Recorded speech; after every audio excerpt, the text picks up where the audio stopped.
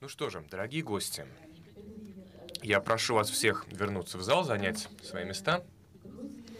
Я рада вас приветствовать на второй секции. Она называется «Есть ли что-то новое?». Есть ли признаки какой-то динамики долгосрочной, может быть, межрегиональной динамики. Э, на первой секции вы послушали очень интересные примеры, познакомились с рядом конкретных инициатив и узнали, что происходит на местном уровне. А вот сейчас во второй секции мы попробуем посмотреть на другой уровень. Мы попробуем обобщить. Мы попробуем поговорить про городском активизме. То есть все эти инициативы и проекты мы сейчас постараемся поставить в более широкий общественно-политический контекст. И пойдет сейчас речь прежде всего вот о чем. Мы попробуем выяснить, может ли городской активизм создать новые пространства для общества, для политики, Инициативы, они же все очень разнообразные, их очень много. Вы это, я думаю, поняли еще в ходе первой части. Инициативы все очень разные, и могут ли они все иметь какую-то общую повестку дня, что-то, что их объединяет? Я думаю, это отчасти продолжает вопрос, который прозвучал до перерыва. Могут ли все эти инициативы и проекты привести к изменению в отношениях между государством и обществом? И это заглавие всего нашего сегодняшнего мероприятия. Можем ли мы исходить из того, что мы наблюдаем модернизацию в России снизу? А если у нас останется время, мы попробуем еще сравнить ситуацию гражданского общества его организации в наших странах, в Германии и в России, где там самые крупные различия. Давайте я представлю вам наших гостей на подиуме. Справа от меня сидит Юлия Боржемская, и Виктория Копейкина. Они обе из Москвы, они представляют экологическую организацию и занимаются прежде всего очень важной проблемой, что делать с мусором, с отходами, как вообще Россия решает проблему отходов, огромного количества возникающего мусора. Они обе работают в проекте под названием «Стоп выброс». И кроме того, они участвуют в работе сети «Экологика». Я думаю, что они сами смогут чуть подробнее рассказать об этих структурах, об этих организациях и проектах. А, теперь с другой стороны, слева от меня сидит Дарья Федотова, она тоже из Москвы. Дарья – одна из основательниц движения «Делай сам». Это движение поддерживает гражданские инициативы, которые организованы гражданами самостоятельно. И там в Москве открылся культурный центр в рамках этого движения под названием «Делай культуру». Вот в этом центре и работает Дарья Федотова. Кроме того, наверное, об этом стоит здесь сказать, Дарья издает сборник совместно с фондом Бёля «Делай сама» называется этот сборник. В 2017 году он вышел. Я также рада приветствовать сидящую слева от меня Лилию Воронкову. Лилия – социолог и тоже активистка.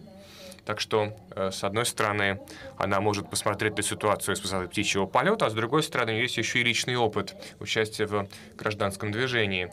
Э, она уже давно работает в независимом социологическом центре в Петербурге. Может быть, кто-то из вас о нем слышал. И она занимается городскими инициативами. Она участвовала в целом ряде проектов, даже инициировала многие из них. В том числе она участвует в научном проекте. Называется он «Claiming the Public Space», возвращая общественное пространство. Проект этот занимается исследованием городского активизма в Петербурге и Берлине. Лилия Воронкова, мой первый вопрос вам. Я сказала, что мы сейчас хотим попробовать немножко абстрагироваться или говорить в рамках более абстрактного контекста. Что такое городской активизм? Что он означает? И одна из заявленных целей – это создание общественных пространств, установление таковых. Вопрос, а что такое общественное пространство? Что мы понимаем под этим? И в одном из интервью некоторое время назад. Это интервью было опубликовано в интернете на Татлине. Э, вы в этом интервью сказали, что общественное пространство — это форум, это площадка, на, котором, на которой люди становятся гражданами. Общественное пространство — это еще то, что делает группу потребителей общественностью или обществом. Поясните, пожалуйста, что вы имели в виду?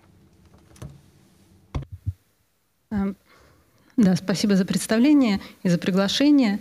А, я действительно считаю, что общественное пространство — это не, не застроенные пустые пространства в городе, э, не занятые там машинами или домами, а это пространство, которое наполняет жизнь, в которых есть люди, в которых существуют процессы, которые эти люди инициируют. И настоящее общественное пространство — это э, такие, в которых, э, которые превращают горожан в граждан за счет того, что они общаются. Э, это становится площадкой для дебата, для диалога и э, для повышения ответственности по отношению к городу и к окружению, э, в котором люди живут. И сегодня можно сказать, что весь город может рассматриваться как общественное пространство. А, и именно поэтому для городских активистов это, это место приложения усилий, а, потому что превращая, как бы создавая инфраструктуру для общения, для взаимодействия граждан, они таким образом э, создают вот эту площадку для трансформации Э, горожанина с его как бы э, потребительским да, отношением к городу в гражданина с активной позицией действующего субъекта. А какие предпосылки должны выполняться, чтобы такое пространство появилось? Вечный вопрос про курицу и яйцо, про которое все спорят. Я, видимо, из-за того, что все-таки социолог, а не только активист, мне кажется, что э, во многом все идет от людей. И в последние годы мы действительно наблюдаем всплеск такого городского активизма.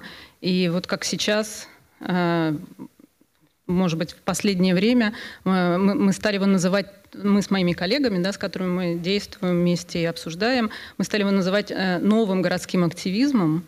Э, который имеет отличные формы от того активизма, который мы привыкли э, подразумевать да, под этим словом. Э, то есть это... Мы знаем, что существует протестный активизм, да, очень сильный в России, давно есть политический активизм, а это новый городской активизм, который объединяет в основном молодых людей, которые разочаровались в представительской демократии, в выборах. И, возможно, провал муниципальных выборов в Петербурге эм, подтолкнул во многом их к тому, чтобы действовать. И эти люди, они, можно сказать, возглавили вот это движение и работу над общественными пространствами, на работу как бы с отвоевыванием права на город, э, которое проявляется в очень разных вещах, о которых я могу чуть позже рассказать. Vielen Dank. Dann schauen wir uns vielleicht mal ein äh, Спасибо. Давайте рассмотрим конкретный проект.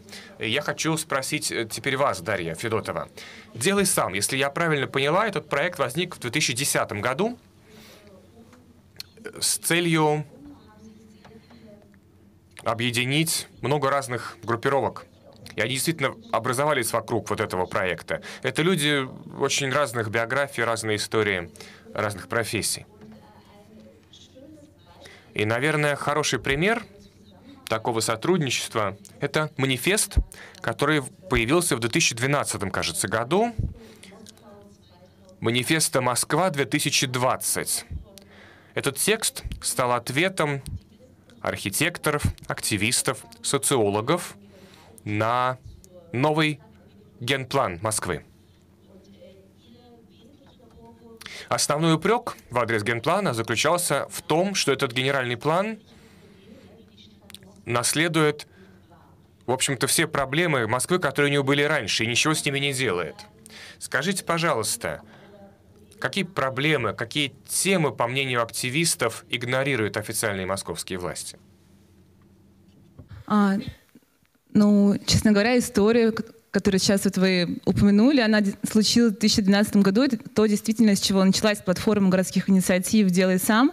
Но просто забегая вперед, я хочу сказать, что сейчас ее не существует, и она развалилась. И, собственно, вся самоорганизация, на которой держалась наша команда, ну, со временем, в общем, пришли к тому, что все это не работает. И, собственно, что многие там идеи, о которых мы думали в том 2017 году, это такие немного наивные и утопичные. Сейчас, ну, мне кажется, в деталях я вот не воспроизведу именно манифест Москва 2020. Я попала в команду платформы «Делай сам» по приглашению уже, ну, участницы этой команды Татьяны, Татьяны Честиной, активистки. И тут ну, для меня, наверное, вот, собственно, почему мне стало интересно присоединиться, э, сыграл роль тот фактор, что ну, мне всегда хотелось думать о городе не, не с точки зрения его потребителя, а с точки зрения человека, который может каким-то образом практически его изменить. И марафон это был, ой, манифест был а, длинный и такой достаточно конкретный текст. Ну, в нем были пункты, которые, мне кажется, подойдут каждому городу, что в Москве нужно, собственно, городу нужно больше зеленых зон, в Москве должен быть раздельный сбор отходов, а, хотелось бы больше общественных пространств. То есть я не скажу детали, но просто это все то, что, собственно, город, в котором тебе хочется жить. Я прочитала этот текст, и получила приглашение своей подруги и коллеги, и все это совпало таким образом, что я подумала, ну вот в реализации такой, собственно, задумки я хотела бы именно ну, лично поучаствовать. И также мне понравилось, понравился тот факт, что участие в марафоне это было выступлением не против чего-то, а за что-то. То есть у нас была конкретная повестка, и каждый человек в команде, он ну, нашел что-то свое вот в этом, собственно, в общем тексте манифеста, то, что ему ближе всего. Там, не знаю, в моем случае это была экологическая тематика, с которой вот, ну, активистская такая деятельность у меня начиналась, там, тема организации сбора макулатуры в парках города. То есть я все это радостно делала. Ну, каждый нашел какую-то свою часть, и в рамках марафона ну, у нас был такой проект «Марафон городских действий». В течение недели, собственно, желающие там, люди а, подключались и организовывали в разных точках в городе практически акции, ну, чтобы решить какую-то существующую проблему. Кто устанавливал пункты раздельного сбора отходов, кто устраивал велозаезд. А, ну, и вот я вот занималась макулатурой, кто чем. И, ну, это это мне было близко и показалось, что именно в таком участвовать хочется. То есть, когда ты просто... Просто у меня еще такой подход, собственно, если я, ну, понимаю, чего именно, что, что не так, что я хочу изменить, мне очень нравится полностью как бы продумать весь процесс и как бы добиться этого изменения. И участие в марафоне, вот, вот активизм помог это, это оно осуществить, потому что, ну, работая где-либо, да, ну, даже в структуре, там, которая занимается управлением городом, ты не можешь свою идею вообще, ну, я вот никогда, я работала в департаменте культуры Москвы, никогда ничего ты не можешь реализовать, все время тысяча причин, почему это невозможно, и в итоге ты просто являешься каким-то непонятным винтиком в системе, а как бы здесь, ну, собственно, меня, меня привлекло, да, то, что как мы обсуждаем, что мы хотим, и потом мы идем и это делаем, и видим результаты. Спасибо. Да, спасибо вам. Вы сказали, что работает. Слышно? А, вы сказали, что вам понравилось в этом проекте вот эти новые возможности организовать что-то, сделать сам, и то, что можно делать для окружающей среды, и проект не против чего-то, а за что-то. Может быть, это будет интересно. И, наверное, это вопрос такой открытый, который я бы хотела обсудить чуть позже с вами со всеми. Скажите, пожалуйста, а вот самовосприятие такой организации какой? Делай сам. Как саму себя воспринимает? Это тенденция какая-то противоположная? Тенденция противоположная развитию города, официальному, классическому? Или вы считаете себя чем-то, что дополняет официальное развитие города? Каково самовосприятие организации такой инициативы «Сделай сам»? Хотела бы снова уточнить, что я вот буду говорить в прошлом, когда, собственно, существовала платформа городских инициатив «Делай сам», мы, ну да, выступали не против чего-то, а, собственно, за что-то, и формулировали те идеи, которые казались применимыми в городе, и их осуществляли сейчас, просто тоже, чтобы объяснить, чем я занимаюсь.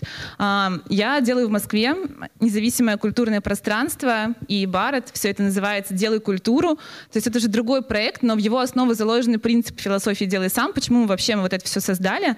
Как раз началась, наша дискуссия началась с общественных пространств, в Москве с ними большая проблема.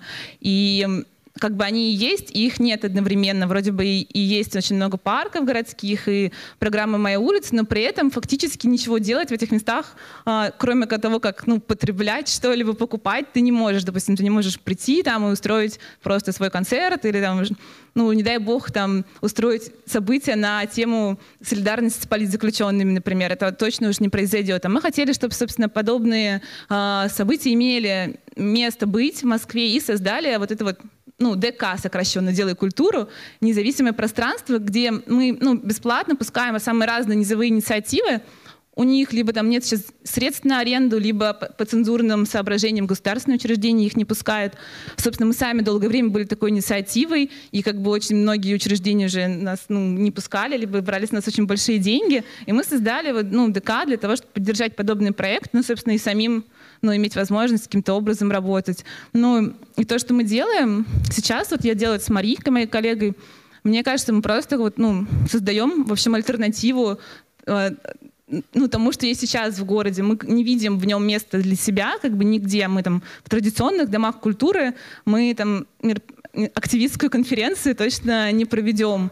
Как бы в город мы выйти не можем. И, соответственно, мы ищем, где вот эта зона такая, где как бы мы можем на что-то повлиять и создать что-либо, но при этом как бы не, ну, в общем, иметь возможность реализовывать свои идеи о том, какой должна быть вообще Москва, город, городская культура. Vielen Dank. Dann Поняла. Тогда от городской культуры придем к городскому мусору. И на этом переходим к вам, Юлия Боржемская. Стоп-выброс. Ваша организация занимается на самом деле очень центральной, основной проблемой городского управления. Что делать с мусором, с отходами, как его перерабатывать, куда его вывозить. Это, правда, очень конкретная проблема, ее можно потрогать. Это важная задача городских властей. И самое интересное, наверное, многие из вас об этом знают или слышали, э, два года уже продолжаются серьезные протесты в Московской области. Но не только в ней. Они вышли далеко за пределы московского региона. В протестах участвуют самые разные инициативы. Но все люди говорят, хватит, с нас хватит, вы нас засыпаете мусором, мы не можем жить рядом со свалкой. Или даже на свалке. Что интересно в этой инициативе? Интересно то, что она объединяет людей, которые политически, в общем-то, ну, пока активно никак свою позицию не выражали. Они не выходили на улицы, но вот сейчас вышли. И она объединяет еще и местных депутатов. Муниципальные депутаты тоже вышли вместе с ними на улицы. Так что вот эта вся тематика мусорная, отходная, она, видимо, объединяет людей с самых разными биографиями, с разными историями и вы давно работаете, и вы явно собрали очень большой богатый опыт. Это же не просто протест, это явно какое-то большее движение. И движение тоже набирается опыта. Поэтому, конечно, интересно посмотреть, как вас воспринимают на местах, на локальном уровне. Интересно людям участвовать. И главное, местным администрациям. Интересно сотрудничать с организацией «Стоп-выброс». Делают они это? А, спасибо за такую презентацию нашего движения, нашей инициативы. А, да, действительно, движение «Стоп-выброс» идет уже второй год. Оно нигде не зарегистрировано, то есть это чистая самоорганизация людей. А население изначально мы объединяли восток и юго-восток Москвы и ближайшего Подмосковья, но сразу решили, что наше движение должно иметь созидательный характер и своим лозунгом лозунгом, а мы своим девизом, мы выбрали, что стоп-выброс — это движение за чистый воздух. Мы просто хотим дышать. Так, в общем-то, и написано в заголовке во всех наших социальных сетях. И стоп-выброс — это Москва и Подмосковье вместе за чистый воздух. Это очень важно, что мы выступаем за системный подход а, к решению этой проблемы. И вот спустя ну, почти уже полтора года а, нашей активной деятельности в этом направлении мы пришли к тому, что ну, пришли на самом деле намного раньше, но сейчас есть четкая уверенность в том, что э, абсолютно все население планеты, не говоря уже о том, что все население России э, достойно и обязано дышать чистым воздухом, э, пить чистую воду, есть безопасные продукты и иметь свое право на экологически чистую окружающую среду. И поэтому ну, наверное, логическим а, продолжением всей нашей деятельности явилось то, что в марте а, мы созвали, ну, не без помощи других инициативных групп, которые также сотрудничали с нами в рамках «Стоп-выброса». Это более 60 инициативных групп не только московского региона, но и всей России. Это и Находка, и Архангельск, и Челябинск, и Казань, и многие другие региональные и либо районные городские группы. А, поняли, что уже не хватает нам стоп-выброса для того, чтобы аккумулировать а, всю деятельность, делиться опытом, перенимать опыт. А, было создано движение «Экологика», которое мы анонсируем как межрегиональное движение. Если говорить о том, что делать с мусором, много публикаций сейчас вышло на всех уровнях от районных, региональных до федеральных. Много официальной информации есть а, не только, скажем так, в протестных а, СМИ, но и на федеральном уровне это пресс-релизы и заявления, доклады ОНФ, это Общий Российский народный фронт, в Совете по правам человека при президенте. А Общественная палата Российской Федерации неоднократно поднимает за последний вот год-полтора тему экологии, именно тему обращения с отходами. Оба наши движения выступают за раздельный сбор. Это очень важно. Движение «Раздельный сбор» давно существует на территории России, на территории Москвы Москвы, и Санкт-Петербурга, и других крупных городов.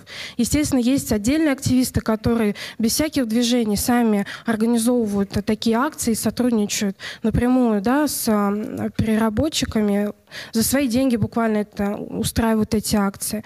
Сейчас есть возможность все это аккумулировать и а, самое главное, что мы создали а, информационную площадку, единую информационную площадку по всем экологическим мероприятиям, которые проходят а, в Москве, либо за ее пределами, неважно какой это город. У любого человека есть возможность написать предложенную новость и рассказать им сам о своей инициативе, о своем мероприятии, либо поделиться каким-то своей экологической ситуации в регионе, тем самым привлечь а, а, к решению этого вопроса местные и федеральные власти. Потому что мы точно знаем, что наши ресурсы в социальных сетях и наш сайт изучают и читают представители органов власти. Ja, das, vielen Dank. Das Interessante ist ja, dass Большое спасибо. Да, понятно, что этой темой сейчас начали заниматься. Но на местном уровне в любом случае городские власти понимают, что обойти эту тему не удастся. И кроме того, город часто сам себя воспринимает как жертву, так сказать, общей федеральной политики в сфере мусора. Но вы сказали, что вас воспринимают, вас читают. И президентская администрация и Дума тоже не смогут обойти эту тему, тему мусоропереработки. Вопрос вот в чем. Все эти чиновники и политические организации, они воспринимают именно организацию «Стоп-выброс» или «Экологику» как некий институт, как э, медиум, как посредника, с помощью которого они могут говорить с населением о данной проблеме.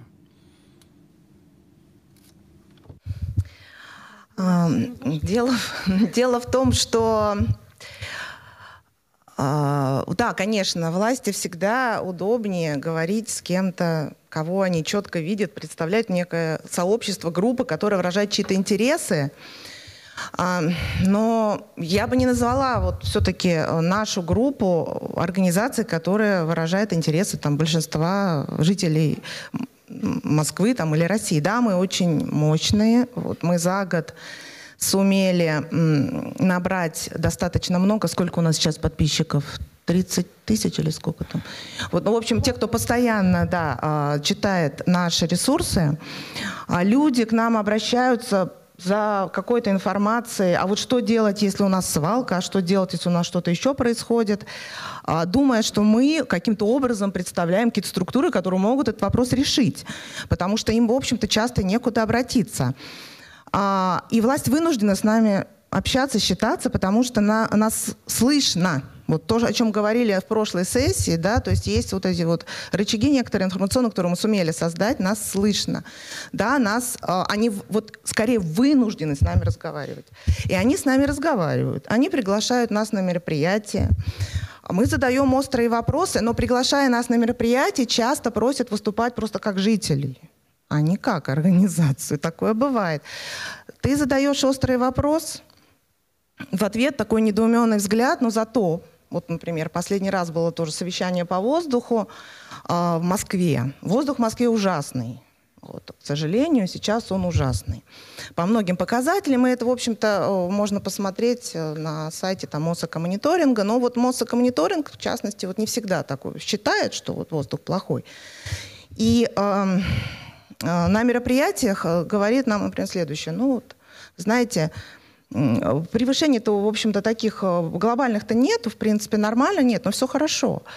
А, после дискуссии с нами, на следующий там э, и, и постах в социальных сетях от нашей группы, с фактами, вот фотографий газоанализаторов, которые есть у нас, и других материалов, выходит текст о том, что экстремально высоких превышений – не фиксируется. Но это разница. Нет превышения, нет экстремально высоких превышений. Хотя я вообще не понимаю, что имеется в виду под словами экстремально высокие превышения. Это что? Это когда все уже умерли или как это вообще?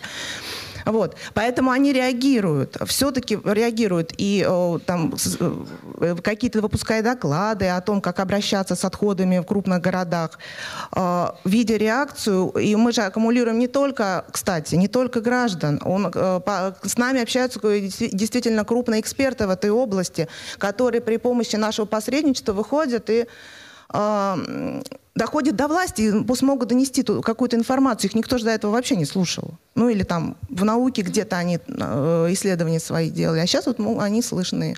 И мы, конечно, надеемся, что э, вот эта информация, потому что проблема-то у нас ведь не только в том, что вот эти свалки, их много, да, Москва, э, Россия каждый год прирастает на свалку территории, ну, вернее, сумма всех свалок, она равна территории Москвы, это ежегодно. Вот. И, э, конечно, это проблема. Но в качестве решения проблемы ведь нам предлагают э, построить мусоросжигательные заводы, но не такие, как в Германии. В два раза меньше степеней очистки, в два раза или в три раза больше мощность и сжигание всего несортированного. Поэтому, безусловно, э, то есть и здесь мы вынуждены опять экспертов привлекать и говорить, вы хотите решить нашу проблему, да, я понимаю, это здорово, но вы ее решаете так, что вы вообще нас угробите. Поэтому у нас роль еще и каких-то посредников для экспертов возникает. Vielen Dank. Äh, Julia Bajemskaya hat ja eben... Äh, да, Юлия Бажемская тоже только что сказала, что э, ее инициатива, так сказать, не зарегистрирована официально. Это скорее неформальное движение, но э, очевидно, что это движение очень популярное. Вопрос, как вы сами себя рассматриваете? Вы все равно скажете, что вы посредник между населением, с одной стороны, которое страдает от э, обилия мусора, и э, административными, государственными, политическими структурами, с другой стороны. Вы считаете это своей задачей, быть посредником, вот эту посредническую функцию выполнять? Ну, вы знаете, по факту получилось так, что мы из э, движения grassroots, да, такого не, классического, очень быстро переросли, вот, наверное, да, вот в такая у нас сейчас задача, а потому что больше некому. Мы вынуждены этим заниматься. Да, согласна. И я считаю, что э, но не только в этом есть наша задача, что вы нам присылаете, да, там делитесь своими проблемами, а мы там их опубликуем или э, там вот покажем, всех смогут прочитать, там э, все органы власти или другие люди, узнать, какая у них экологическая ситуация в своем районе. Не только в этом наша задача. Задача ну, даже это не то, чтобы задача, мы не ставили себе никаких задач, кроме вот чистого воздуха, когда все это начинали, да, там, с нескольких сначала людей, когда это все очень быстро набирало обороты. А, мы не ставили каких-то задач быть посредником или там еще что-то. Но сейчас мы видим, что э, наше взаимодействие, э, наша вот это все равно внутренняя созидательная функция прежде всего, да, что мы боремся за лучшее, за, за чистый воздух. Чем больше, чем дальше мы развиваемся, чем дольше живет наша инициатива, тем более подкованными в плане гражданского самосознания, в плане а, экологических каких-то, а, пусть даже там теоретических основ, а, становятся более подкованными люди, которые нас читают, которые с нами взаимодействуют, которые могут что-то делать у себя на местах. Кто-то, являясь ну, участником или активным да, волонтером а, там, движения «Стоп-выброс» или движения «Экологика». Мы, а может быть, мы даже и не знаем, что человек, конкретно кто-то в регионе, да, но вот он внутренне думает, вот, э, да, действительно, молодцы, и я вот тоже являюсь активистом. Любой человек, который с нами общается или делится информацией, и считает, что он э, часть нашей большой команды, а, он может идти дальше и уже своим личным примером нести это гражданское самосознание дальше э, и, например, заниматься а, образовательной деятельностью, да, рассказывая детям, подросткам, молодежи, э, более старшим поколением людей о том же раздельном сборе, а, либо вести, а, допустим, деятельность, а, как вот Арсен говорил по поводу муниципальных выборов, либо других любых выборов, и вести наблюдательскую какую-то активность, да, то есть проявлять свою гражданскую позицию не только в рамках стоп-выброса, либо в рамках экологики, да, там стоять в пикетах, либо приходить на согласованные другие какие-то мероприятия, но он чувствует в себе силы, да, что он может и дальше, уже дальше что-то делать самостоятельно, либо образуя свои какие-то другие движения, инициативы. Потому что я сказала в самом начале, что более 60 инициативных групп, это только по нашим, ну, можно сказать, формальным да, спискам, когда вот мы созывали экологический конгресс, то это вот все образовалось в списке 60 инициативных групп. Но при этом читают нас намного больше людей, кто-то не принадлежит никакой группе. Но каждый из этих инициативных групп это тысячи человек. А, в Архангельске это 30 тысяч человек, в Коломне это 11 тысяч человек. А, только подписчиков не... Большое спасибо. Дарья Федотова, вот скажите, вы, когда слушали а, то, о чем говорила Юлия, вот она описывала, как из очень конкретной задачи из э, проблемы мусора рождается общественно-политическое движение. Потому что вы сказали сами, практически вы занимаетесь просветительской деятельностью и так далее. Вот э, «Делай культуру, делай сам» занимается наверное, другими темами. Это скорее более такой креативный кластер, креативная сфера. Э, как вы считаете, вы все равно похожи на них в своем самосознании, в программе, которую вы преследуете?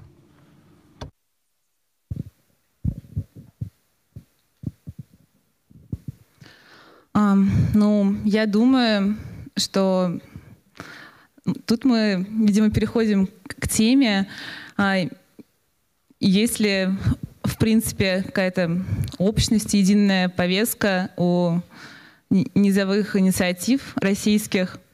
Ну, и, собственно, ну, мне кажется, она есть, но она но просто именно открыто, именно такими словами никто не говорит, и в любом случае это э, демократизация общества, и просто каждый, каждая группа работает на каком-то своем поле, и э, вот коллег волнует тема чистого воздуха, загрязнения э, свалок, и они занимаются именно этим ответвлением темы, и ну, в этой области ведут свои работы. Но нас очень волнует, что нет бесцензурных пространств в городе, и мы пытаемся что-то делать в этой области. То есть, ну, я думаю, в этом плане, конечно же, глобально общее, общее у нас есть, потому что, ну, и мы, и «Стоп-выброс» — это низовая инициатива, которая сформулировала для себя какую-то цель работы и следует ей в своей деятельности. Можно я дополню? Я. А, потом Виктории. Хотела сказать, что если мы говорим про что-то похожее с Дарьей в нашей деятельности, то уж точно похоже то, что и мы тоже дружим и общаемся с Татьяной Честиной. И есть другая организация, которая также занимается экологией а, в Москве и в России в целом. Это всероссийская организация, общественная, зарегистрированная, которая проводит многие мероприятия при поддержке правительства Москвы, в том числе, и а, некоторых коммерческих крупных компаний, не буду говорить. Вот, поэтому а, многие активисты, ну уж по крайней мере, наверное, в Москве или там в московском регионе, и думаю, что и да и в России тоже, а, так или иначе, они все равно в каком-то общем пространстве, пусть может быть и там виртуальном, либо каком-то кулуарном, не вот физически, да, в каком-то помещении, а вот по своим мыслям и действиям они все равно объединены. Я думаю, что так. Ну да, ну, наверное, еще вот вы спрашивали это к тому, что, ну, тому, к моему первому комментарию про разделение на там, инициативы за и против чего-то, ну и от каких проектов, собственно, мы отличаемся. Ну, наверное, немного, ну, наш проект будет разный с проектом, а, который выступает, например, а, ну, ну, к примеру, проект, который борется с пытками, то есть против чего-то, или а, против коррупции, то есть есть какой-то такой, ну, скажем так, враг, и понятно, что это очень, ну, вообще такое опасное какое-то явление, проект ему противостоит, но когда вот э, наконец-то там случится это, и враг будет побежден, ну как бы вот что будет, что будет дальше? Ну то есть и те, и другие проекты имеют право на жизнь не очень нужны, просто, ну вот наша сфера, она такая, как бы мы ставим себе, идем, грубо говоря, к какому-то положительному результату, который мы себе нарисовали, ну, стремимся к нему.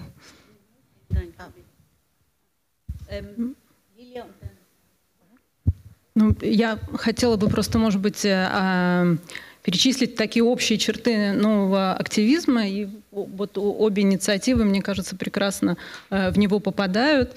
Э, ну, во-первых, новый активизм, он ценностно-прагматический. То есть он стремится к реализации совершенно конкретных целей, и они базируются на совершенно определенных ценностях – и город в этом плане выступает такой мега-ценностью. Город в широком смысле это не только пространство, это и экология, и социальные группы и так далее. То есть это как бы такая очень широкая площадка. А новые активисты превратили инициативы против в инициативы за. Они выступают и предлагают что-то, а не просто борются там против чего-то. А новые активисты, а, они легкие, да, они при, применяют эм, то, что называется софт, да, такие мягкие методы, они заигрывающие, они приглашающие. Э, посмотрите, как, какими методами да, они пользуются. Это какие-то ролики, это как Инстаграм, еще чего-то. За счет этого они являются очень притягательными для большого-большого количества людей, которые тоже разделяют эти ценности, потому что все хотят жить в чистом городе, все хотят иметь там, не знаю, доступ к общественным пространствам, к воде э, и так далее. Э, новые активисты не создают организаций, потому что это утяжеляет их. А это ассоциации, которые очень легко собираются, пересобираются в разных, совершенно разных проектах. Как вы сказали, вы нашли сразу же общие, общие да, людей, которые, э, вокруг которых собираются э, проекты. Vielen Dank. Auf diesen Aspekt würde ich gleich sehr gerne noch mal eingehen. Спасибо, да, к этому аспекту я хотел бы сейчас обратиться, что э, здесь мы имеем э, дело с гораздо более неформальными структурами, но сначала хотела бы дать слово Виктории, пожалуйста. Я тоже хотела как раз сказать о неформальности, потому что действительно гораздо легче действовать и и мобильнее намного. Но еще важный момент, вот как раз Дарья сказала, что э, мы создаем свое пространство, потому что э, в иных э, местах цензура присутствует. У нас та же история, мы этим тоже очень похожи, потому что в экологически, на экологическую тематику в официальных и в большинстве СМИ в России есть цензура. И невозможно э, вот там в каких-то крупных изданиях вот так вот э, опубликовать информацию о митинге или там с после митинга, или о каких-то серьезных проблемах, мы вот и выступаем этим информационным ресурсом, который заменил фактически вот эти вот о, все, ну не заменил, конечно, но является хорошим дополнением. Вот, о, вот так вот мы, причем мы вот именно в позитивном ключе, то есть мы создали свою точку доступа Вот. И она работает. Vielen Dank. Walter Kaufmann hatte in der Einführung ja gesagt, Да, вначале мы говорили о том, что э, занимаем, имеем мы ли дело здесь с модернизацией снизу. Модернизация означает всегда приобретение некого нового качества у общественного активизма. И я вот хотела бы вернуться к этому аспекту, он мне кажется очень интересным. По-моему, действительно, мы чаще и чаще сталкиваемся с неформальными структурами. В начале 90-х годов в э, России было основано большое количество некоммерческих организаций, которые сильно поддерживались из-за рубежа. Э, С одной стороны, ноу-хау, с другой стороны, финансами. Большинство из вас в курсе, что как раз в сфере финансовой поддержки сейчас все осложняется, в частности, из-за закона об иностранных агентах, который усложняет получение денег из-за границы НКО. Бывший руководитель э, офиса фонда Бёля Янс Зигерт писал в своей статье, что это никоим образом не означает, что активность э, этих организаций падает или останавливается. Он провел очень интересное сравнение. Сказал, что это как будто бы две разнонаправленные тенденции, если посмотреть на развитие в Германии и в России. Den 70er Jahren, ähm, Он привел пример гражданских инициатив 70-х годов. Наверное, кто-то из вас знает э, статью, как- на которую я ссылаюсь. Как раз в 70-е годы началось активное общественное движение в Германии, возникали неформальные сети гражданских организаций, из которых потом, э, 80-е и 90-е в Германии, выросли очень профессиональные НКО. И сегодня эти организации играют очень важную роль и делают очень важную и полезную работу. Ян Зигерт утверждает, что в России в определенной степени можно говорить о развитии наоборот. Вы все начинали в 90-е годы. Действительно, это было довольно все формализовано. Организации настоящие, э, НКО. А теперь мы видим, что появилось широкое общественное движение, которое находится вне формального сектора, не зарегистрировано, не формализовано. Вот э, вы, Лилия, как социолог, вы согласитесь с этим тезисом? Действительно, для России это наблюдение, верно? Состою в нескольких ассоциаций, которых не существует. И лозунг у нас такой: нас нет, следовательно, нас не уничтожить. А, И таким, ну, действительно, сейчас нет смысла э, регистрировать организацию для того, чтобы э, ну, не подставлять да, себя под, как- под какой-то там э, удар. А, а ассоциации, они как бы существуют за счет социальных сетей во многом, и они э, легко, легко перерастают там, в большие движения, в меньшие движения. Это как такая гибкая текучая масса, да, которая соответствует да, вот этому постмодернистскому тренду, который описывал Бауман. А, Когда общество текучее, да, то и, соответственно, организация, которая должна быть, быть- бу- будет в ней успешной, она тоже должна быть гибкой и текучей. А, И в этом плане тяжелые структуры, они перестали быть актуальными. Э, ни- Никто не мешает реализовывать э, проекты, и без всяких организаций люди находят всякие способы, как, как, как выкручиваться. И вот я хотела бы тоже прокомментировать, что и способы теперь другие. То есть теперь не митинги, а фестивали, например. То есть новые активисты, они перевернули вот эту как бы всю логику с ног, с ног на голову, да, они уходят все больше от вот этих вот как бы структур модер- модернизма и придумывают э, новые какие-то действия в совершенно перпендикулярном направлении. und würden Sie denn sagen, Ну хорошо. Вот в последней э, секции из публики прозвучал такой вопрос. Стало понятно, что вы в России сталкиваетесь с системой, в которой явно очень высоко политическое давление.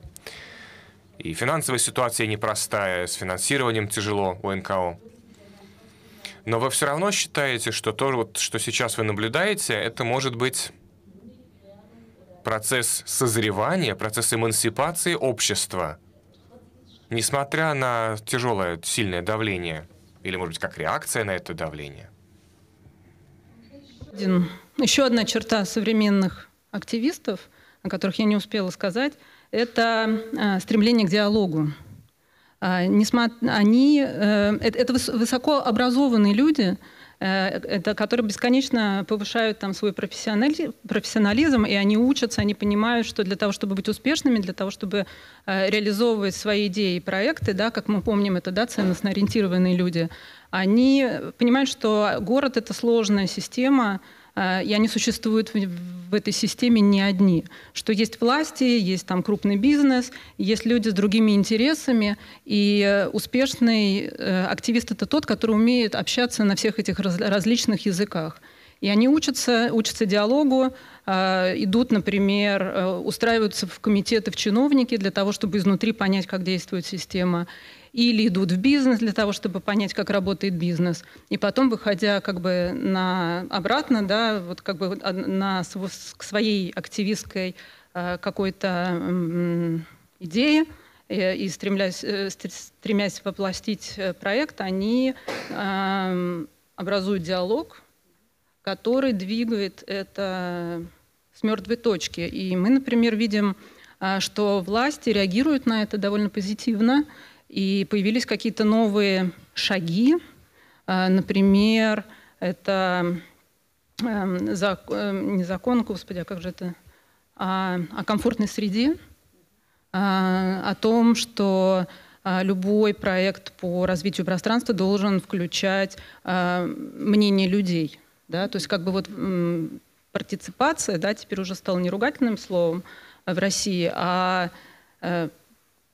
государства, да, или там государственные власти, они научились пользоваться этим словом, и э, они пока не знают, как, какие механизмы включения действительно существуют и как, э, как э, правильно ими пользоваться. Пока это в основном манипуляции, но активисты, они же не спят, они как раз работают над тем, чтобы эти механизмы включения заработали и э, идут на диалог в этом плане. Спасибо, это очень интересно. То есть это фактически означает, что благодаря многообразию инициатив, которые сейчас существуют в России, все-таки что-то меняется в отношении государства и общества. Может быть, мы можем это обсудить в ходе дискуссии. Прежде чем я эту дискуссию открою, я все-таки хотела бы еще а, раз вернуться к исследованию, в котором вы участвовали в рамках программы Claiming the Public Space. Вы исследовали и сравнивали инициативы в Петербурге и в Берлине. Мне кажется, исследование еще идет, но все равно было бы интересно услышать от вас,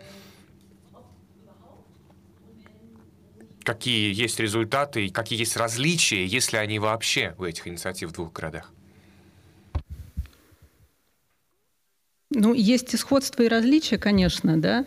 А, э, мы с Олегом Пучковым написали статью о том, что в Петербурге мы наблюдаем больше такие как бы тактические пока шаги активистов, а, которые только пока нащупывают почву, да, делают такие акупунктурные уколы в разных там частях города, которые, возможно, в будущем приведут к чему-то большему, и они начали себя уже осознавать как бы как класс для себя, да, если перефразировать Маркса. А, а в Германии этот путь, в общем-то, уже пройден, и здесь а, активизм такой уже больше стратегический – а, но с другой стороны, что мы наблюдаем и там, и там, это вот как бы недоверие эм, к представительской власти, да, и желание как бы лично принять участие э, в решении о своем городе. И в этом плане, конечно, наибольше, наиболее впечатляет это движение, вот этот Темпельхоф, когда э, люди, несмотря, то есть на свою принадлежность какой то либо партии или на какие-то свои там политические взгляды объединились и на уровне да, там, города огромное количество людей проголосовали э, на референдуме за свободу от застройки э, поля, потому что для них это ценность. Да, то есть ценность в этом плане, ценность городского пространства гораздо важнее, чем то, к какой личной группе я принадлежу. Э, Арсен вот тоже сказал, да, что там православные русские выходят, да, и протестуют против строительства собора, потому что общественное пространство, там зеленое пространство, это важнее. Да, для них это тоже такая метаценность. А в Петербурге тоже а, происходит объединение совершенно разных а, людей с разными взглядами за а, пространство. Это, например, сейчас вот активный кейс э, парк на Смоленке, который объединил там разные группы активистов, и политиков, и бизнесменов, потому что для них тоже не все равно, в каком городе мы живем. То есть я думаю, что вот как бы город как потенциал, как ценность, он обладает возможностью превращения или как бы вот стать площадкой, такой политической площадкой, а, политической в греческом смысле этого слова, да, для развития прямой демократии. Э, Спасибо. Ну что же, если вопросы у вас, уважаемая публика, комментарии, если у нас микрофон, да, отлично. И мы собираем снова несколько вопросов, как в прошлый раз как сказал господин Фосвинкли, пожалуйста, комментарии, пожалуйста, покороче, и вопросы тоже, чтобы все-таки у нас как можно больше людей высказалось. Эхо Москвы в Екатеринбурге радиостанция, сейчас временно на Вэлли в Бонне. Мы слышали историю того, как люди оказались против очень благой да, инициативы в предыдущем блоке. Сталкивались ли вы с возражением? Но все-таки, мне кажется, в нашем обществе сильно вот это моя хата с краю, и меня это лично не касается, ну, пожалуй, я не буду выступать. И как вы с этими возражениями боретесь? Ну и как не опускаются руки, потому что я знаю, многие общественные организации эту стадию проходят, кто-то удачно, кто-то нет. Danke, dann hat mir da vorne noch. Спасибо. Еще? Это Леся Лукман, и у меня к вам конкретный вопрос, прежде всего, с огромным уважением ко всему тому, что вы делаете в России. Скорее всего, вы знаете, что в Подмосковье есть город Зарайск, где около месяца назад открыли первый на территории Подмосковья мусоросортировочный завод. Из-за того, что система полностью не работает, фактически этот завод, ну это свалка. А, есть общественное движение, как бы есть его лидеры, которые, ну, их уже как бы привлекли к суду. Они должны заплатить штраф за то, что они устроили митинг, на котором либеральная демократия произнесла как бы ну, лозунг, что давайте губернатора Подмосковья уберем. Вот, за это, ну, как бы его тоже осудили. Эм, смысл всего этого дела, что по факту в России, вот на мой взгляд, и что вы об этом думаете, палочка о двух концах. Власть как бы пытается хоть как-то наладить раздельный сбор, не обладая абсолютно никакими практическими навыками о том, а как же это сделать, и нету вообще нормальных инженеров, которые могут ну, мягко говоря, знать, как батарейки от биомусора вообще отделить нормально.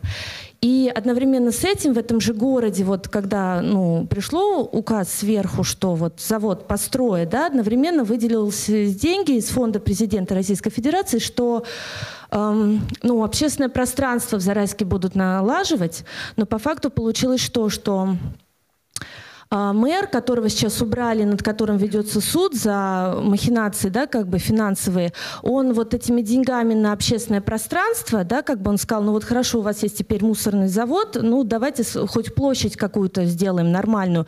В итоге поставили около леса клумбу, а около двух миллионов рублей ну, потратили на то, чтобы вывеску города сделать из камня. Вот считаете ли вы это, ну, как бы общественным пространством?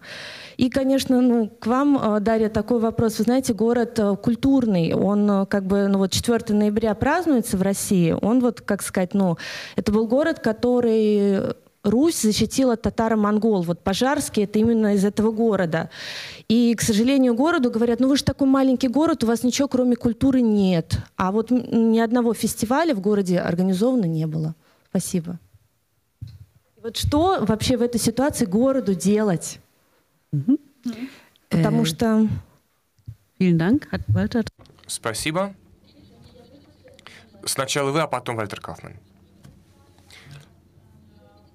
В микрофон говорите, пожалуйста. Первый вопрос Юлии и Виктории.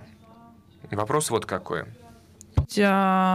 Через три года а, упаковки пластиковые, маленькие пакеты, то есть а, все, что относится как бы к глобальная проблема, то, что очень часто выкидывают мимо урны.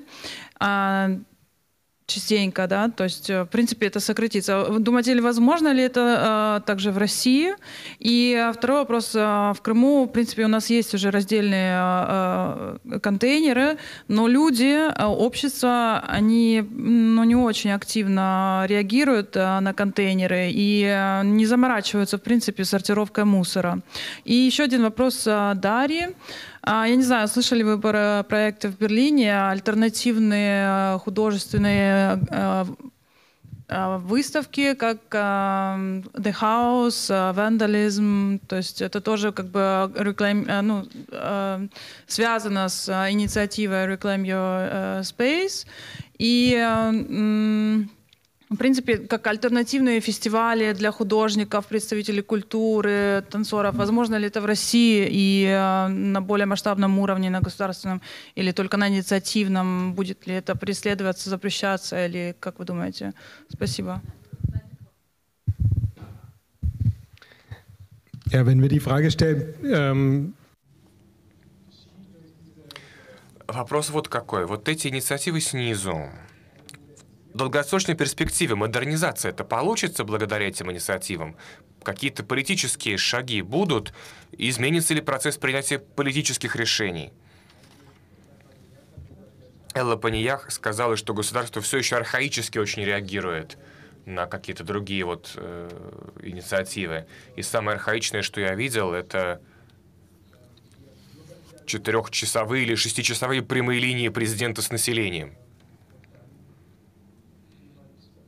А потом кто-нибудь из Томска описывает, что у него проблемы с жильем, или кто-то в Архангельске говорит, что у них проблемы с мусором в городе на прямой линии с президентом. Президент по телефону сразу лучше прямо в прямом эфире звонит губернатору тут же, или там увольняет его моментально, или ругает его перед камерами, и проблемы вроде как урегулировать. То есть вот такой добрый царь, который наказывает плохих бояр и все организует, и исправляет то, что там бояре на местах натворили.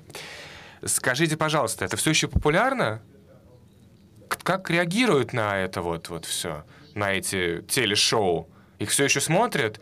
Это все еще инструмент? Это все еще для людей инструмент дозвониться до самого верха, попасть на прямую линию с президентом, чтобы проблема решилась. Насколько силен, силен этот патернализм? Еще один вопрос – вот это интересно было про прямую демократию. У нас тоже прямая демократия такое очень спорное понятие, спорная концепция.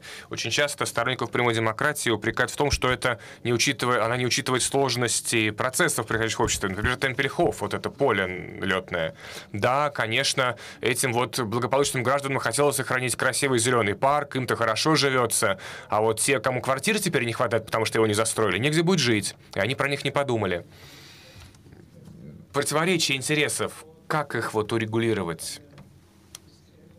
Есть ли уже какие-то новые методики урегулирования конфликтов интересов? Как можно урегулировать противоречия? Э, спасибо. Теперь мы наверное, перейдем к заключительному раунду. Я прошу вас всех отреагировать на те вопросы, которые либо вам напрямую были заданы, либо на которые вам хотелось бы отреагировать. Виктория, давайте начнем с вас. А, давайте с конца. Вот по поводу э, частично, наверное, отвечу по поводу доверия о, и вообще, насколько вот это, на эту манипуляцию сейчас вообще реагируют, я имею в виду телевизионные, так сказать, передачи.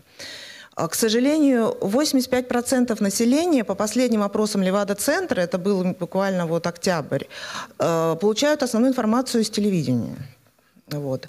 Особенно новости. Ну и, конечно, здесь и ток-шоу. Но доверие падает где-то Э, они посчитали, сейчас точную цифру не скажу, но примерно на 30% упало доверие, но он все равно еще очень высоко. Это порядка половины, наверное, общества. И э, в этой ситуации очень сложно действовать, потому что э, ты как бы говоришь совершенно противоположные вещи. Но э, с нашей, если брать нашу тематику, все несколько проще. Вот буквально последние, ну, правда, это не совсем телевидение, но тем не менее, у нас установили плакаты большие, прям огромные билборды «Москва – город экологического благополучия». Вот. И вдруг на следующий же день ну, части точно на востоке, юго-востоке Москвы опять началось, началось, ну, я бы сказала так, дурно пахнуть. Вот. И не надо ничего больше объяснять. То есть таким образом в, нашей теме мы как раз можем преодолевать в какой-то степени эти вещи. А, вот. А, что вот касается вашего вопроса по... А, да, наверное, вернусь еще к модернизации все-таки. Да, вот вы же, ваш был вопрос про модернизацию. Думаю, что это возможно. Почему я так думаю? Э, я сама как раз э, выросла из тех движений, которые возникли в 90-м году. Я очень давно в экологическом движении, поработала в разных НКО. Я помню то время, когда э, мы обращались к москвичам по решению различных проблем, ну или там прийти на митинг где-то, где-то в чем-то помочь, и а в Московской области вообще никого не было. То есть просто не было активистов. А то, что вот Юлия упоминала, мы в прошлом году собрали конгресс, это просто за месяц, меньше, чем за месяц, 60 групп, ну, это правда, конечно, не только область, но очень многие были оттуда, но ведь каждая группа это тысячу людей, людей практически. И это феномен, это просто такого никогда не было в России. А это что-то это значит. Значит, э, сейчас идет какое-то развитие, и надеемся, что все-таки, поскольку, вот учитывая феномен этого нового активизма, оно, возможно, к чему-то и приведет.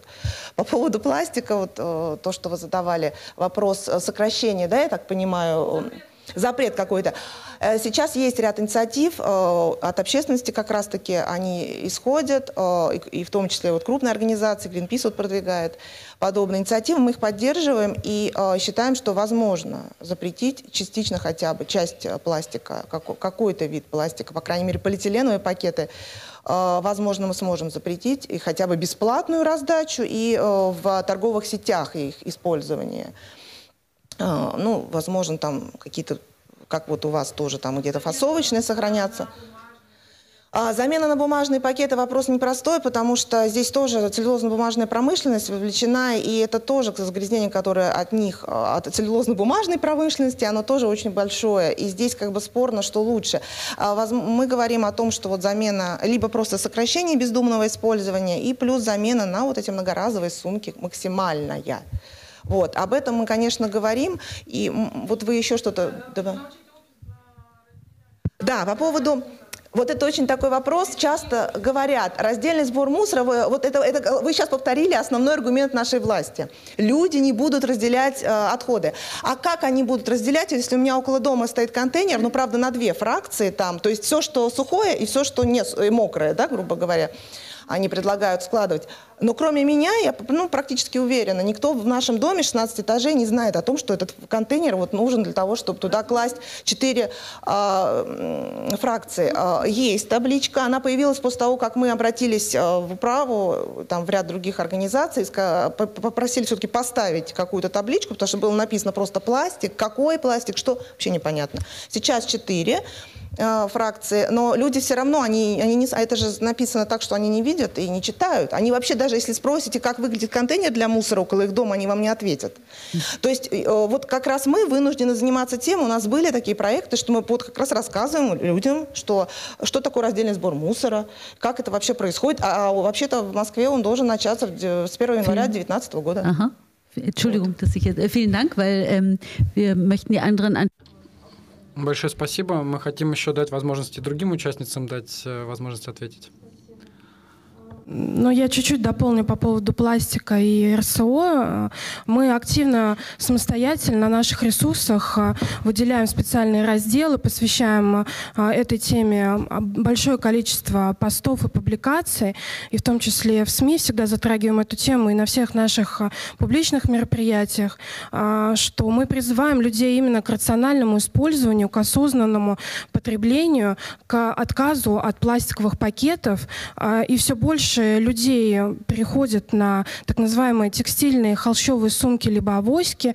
В Москве во многих, а, а, там, а, скажем так, одежных магазинах можно встретить в аксессуарах уже эти авоськи. И действительно, это такой общий тренд.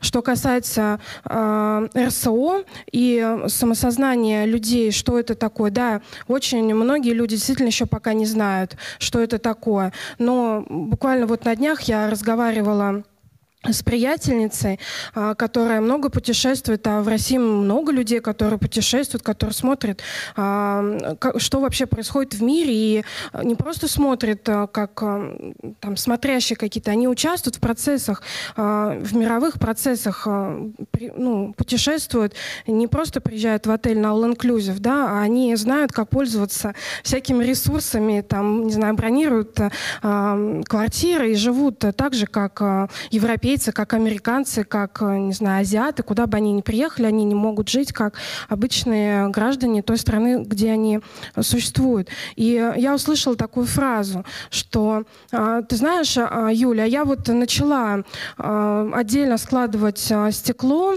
и отдельно складывать пэт-бутылки, потому что вот ко мне пришло осознание, что я так себя больше чувствую человеком. Меня настолько вот эта фраза, ну, Понятно, что это логично, что это правильное поведение, но вот эта вот фраза настолько была всеобъемлющая, при этом эмоциональная, я начинаю себя больше чувствовать человеком, когда я думаю об экологии, когда я действительно приношу э, пользу экологии своей стране, обществе и планете в целом. Это очень важная мысль. И э, то, что, возможно, э, наше правительство пока номенклатурно объявило, да, что в московском регионе с 1 января начинается РСО. Мы все-таки настаиваем на всех наших а, совместных встречах, выступлениях и всех наших публикациях, что а, кроме заявления о том, что он необходим и что он стартует, нужна, конечно, а, огромная пиар-компания, огромная работа по информированию и оповещению населения не только о том, что и не столько о том, что это, во-первых, необходимо, но и о том, как это делать правильно, правильно и что на самом деле разделять легко. И сейчас в Москве разделять модно. Если ты говоришь о том, что ты разделяешь отходы, то ну, на самом деле это воспринимается как тренд, и мы и в этом смысле в том числе продвигаем вот эту полезную инициативу. Vielen. Äh, Daria, äh, Ну, постараюсь на все вопросы кратко ответить. Ну, касательно фестиваля а, в Зарайске, ну, собственно, когда вот мы что-то организовывали, или я, мне чего-то хотелось, я просто, ну, шла это организовывала. Мне хотелось фестиваль документального кино, и вот мы проводили его. Хотелось альтернативную конференцию о городе делать, мы ее собирали. Также появился ДК. Мне кажется, просто вы, вот если живете там, можете организовать. Если не, не живете, то тот, кто там живет, собственно, ну, вот с чего все начинается вопрос, на мой взгляд, с инициативы личной. Вот. Ответ, в общем, такой, может быть, про альтернативные фестивали. Вот возможно ли они сейчас в Москве? Ну, вот мы сами, собственно, своей команде такие фестивали проводим. Я вот сейчас упоминала фестиваль э, документального кино, мы проводили «Делай фильм» назывался.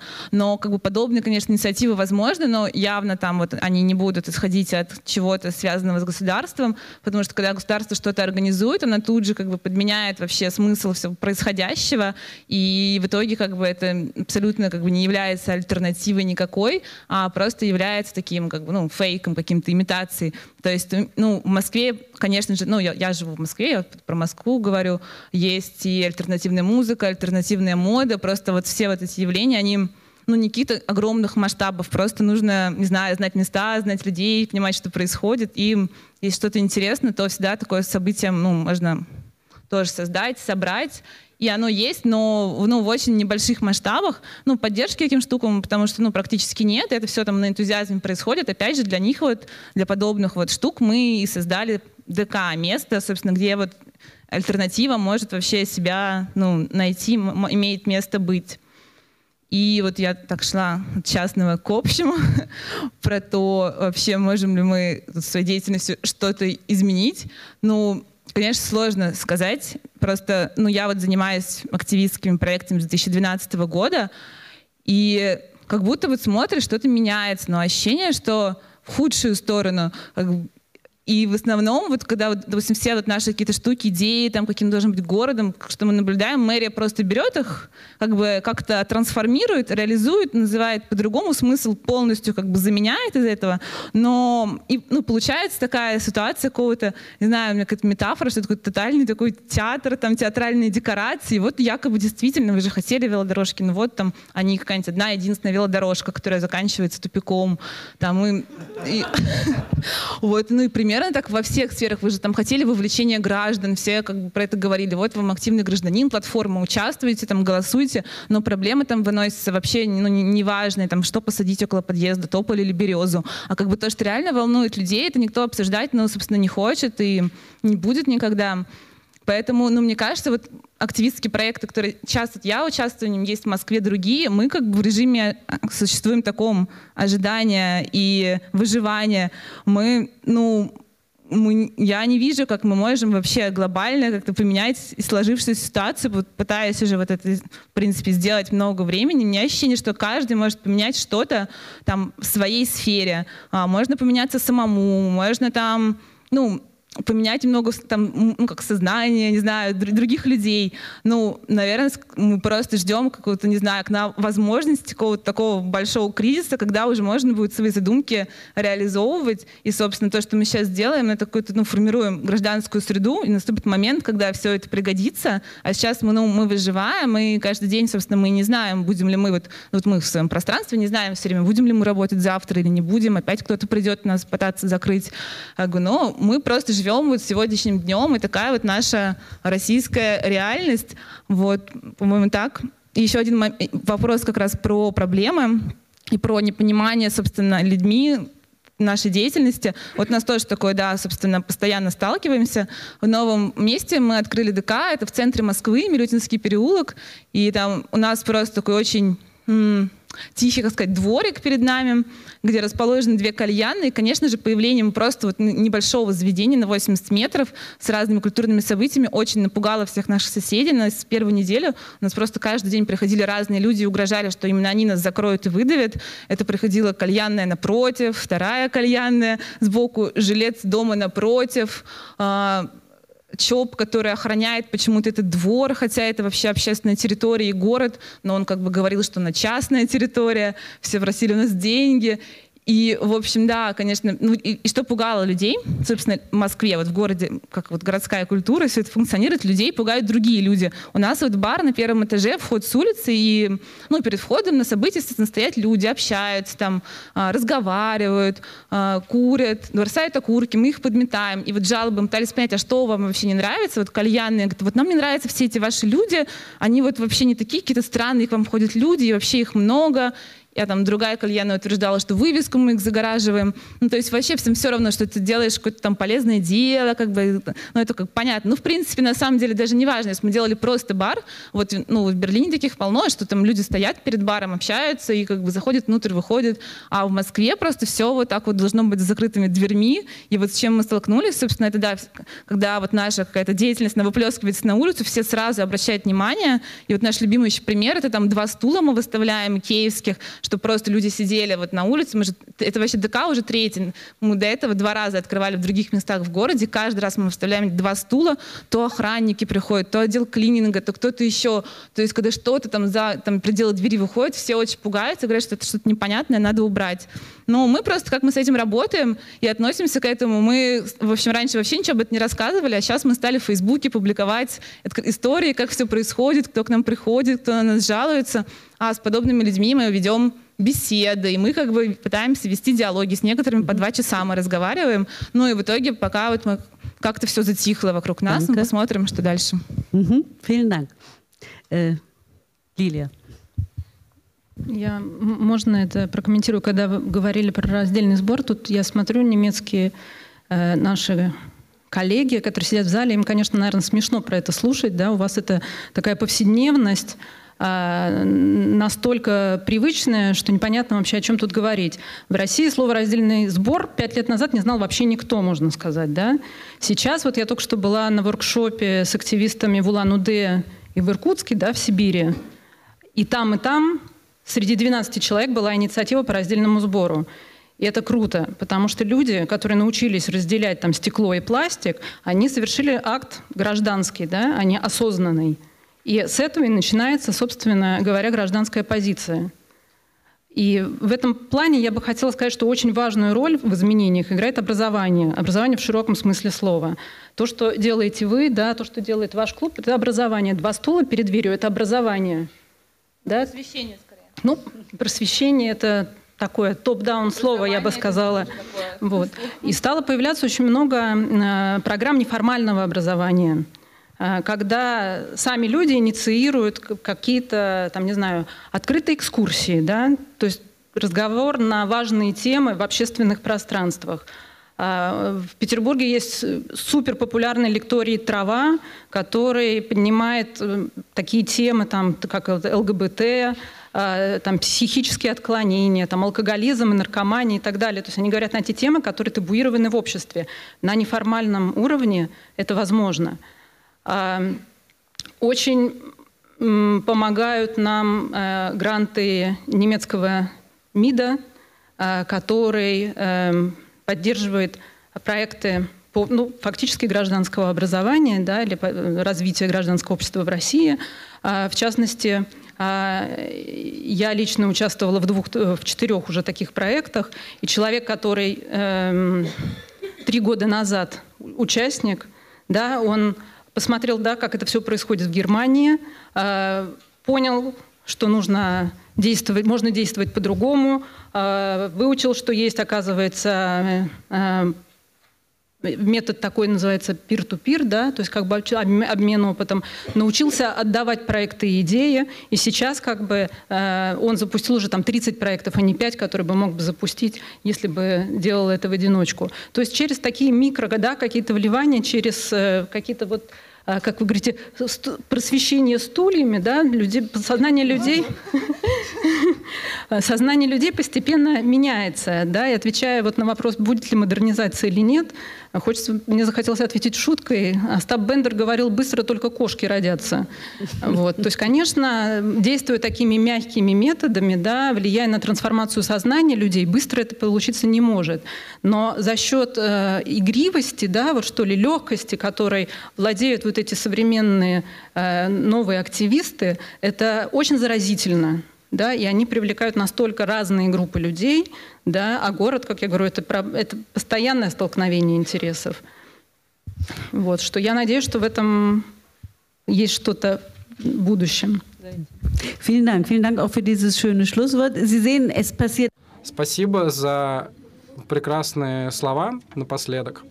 Вы видите, многое происходит в России, движений действительно очень много, и сегодня мы говорили более в прагматическом ключе, концентрировались скорее на поиске конкретных ответов. И большое вам спасибо и успехов а, в поиске этих ответов. Спасибо всем и спасибо участникам за комментарии и за то, что были с нами. Спасибо.